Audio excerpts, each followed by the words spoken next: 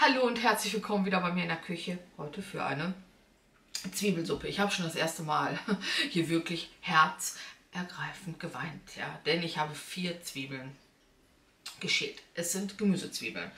Und es wird nämlich eine Zwiebelsuppe. Wer hätte es gedacht? Ja, allerdings eine Gemüsezwiebel oder was hat eine Zwiebel, man kann auch andere Zwiebeln nehmen, eine Zwiebelcremesuppe Wobei ich dann aber hinterher dann auch nochmal Zwiebeln reingebe, die dann noch da drin garen. Also damit man auch so, ja wie bei einer Zwiebelsuppe, was dann immer so schön aus dem Mund raushängt.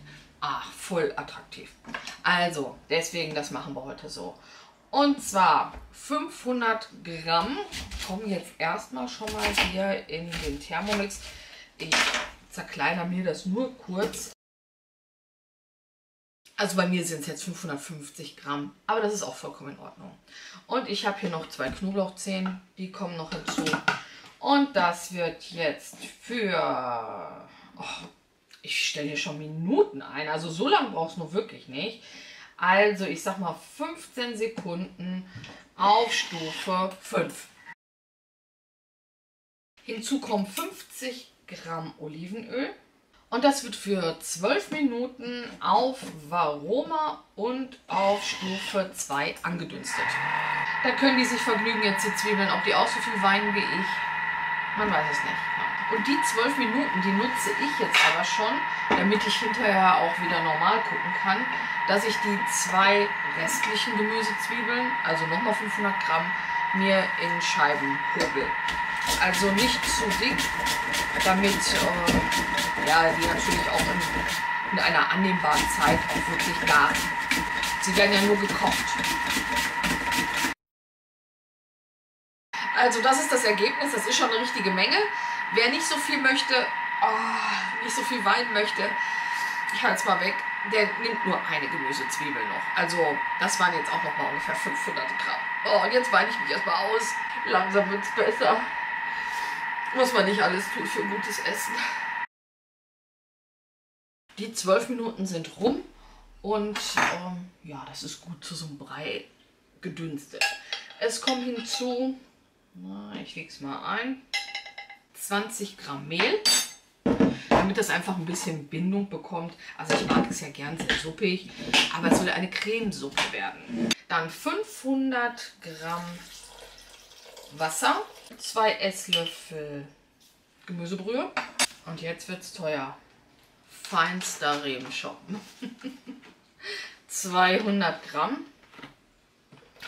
Und äh, wenn ihr keinen Wein nehmen wollt, wie immer, dann nehmt ihr einfach mehr Gemüsebrühe. Also anstatt 500 Milliliter Wasser, dann nehmt ihr dann halt 700. So, dafür mache ich doch glatt nochmal ein gutes Tetrapäckchen auf. Mmh. Natürlich einen guten Schuss Pfeffer und ein Teelöffel Salz. Das kann natürlich durchaus sein, dass ich dann nochmal nachsalzen muss. Aber erstmal nur ein Teelöffel. Jetzt hätte ich doch beinahe vergessen. Hier steht sie.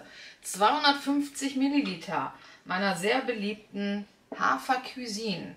Also die Hafer-Kochsahne.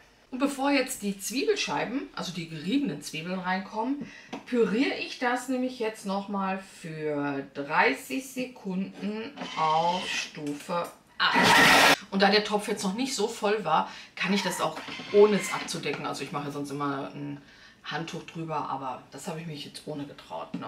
Einfach weil der Topf nicht so voll ist. Ja, das ist jetzt also ein richtiges Cremesüppchen. Denn wie gesagt, ich möchte nicht diese typische Zwiebelsuppe, die ich auch sehr gern mag, aber heute soll es sowas werden. Und es kommen jetzt hier die Zwiebelscheiben rein, die ich vorher schon gerieben habe. Die sind roh. Ja, die stuppe ich mir noch runter. Und das wird jetzt nochmal für 25 Minuten auf 100 Grad auf Linkslauf, denn ich will ja jetzt nicht die äh, Zwiebeln zerstören. Und auf Stufe,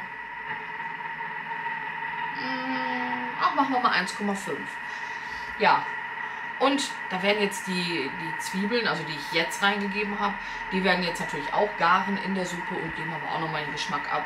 Und dann sind wir nämlich schon fertig. Püriert ist es schon. Das wird jetzt nochmal so ein bisschen andicken wegen des äh, Mehls. Und äh, vielleicht muss ich nochmal abschmecken, aber grundsätzlich war es das. Und ich mache nämlich jetzt weiter mit meinem indischen Fladenbrot, was frittiert wird. Mmh, ich habe schon die Fritteuse extra mir schon hingestellt, ist auch schon das Fett drin. Also hier alles wegräumen, Thermomix zur Seite und dann mache ich hier mein indisches Fladenbrot.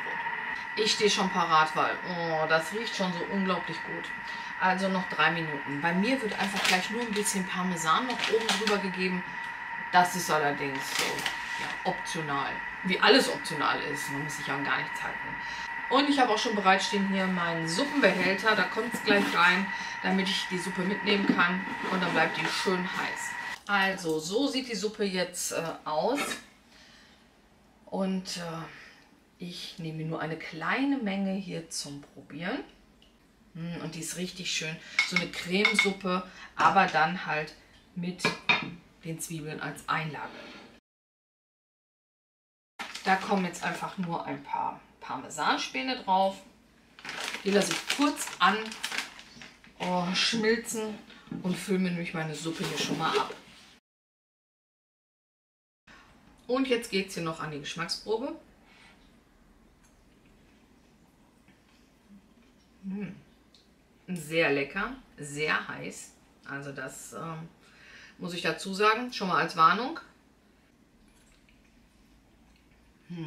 Und sehr köstlich. Also, es hätte vielleicht ein bisschen mehr Salz noch dran sein können, aber naja. Da ist jeder ja, hat jeder auch eine andere Vorstellung. Hm. Und jetzt hier natürlich noch mit den Zwiebeln, was natürlich, also das macht so attraktiv, dann so eine Zwiebelsuppe zu essen, ne? wenn dann immer diese Zwiebeln noch rausgucken. Mhm. Ein Essen für ein erstes Date. Definitiv. Also, meine absolute Empfehlung, ich kann es euch aufschreiben, gerade vielleicht auch für die Feiertage, mh, als Vorsüppchen. Also es ist jetzt natürlich für vier Personen ohne irgendwie was, fände ich es jetzt vielleicht ein bisschen zu wenig, um satt zu werden.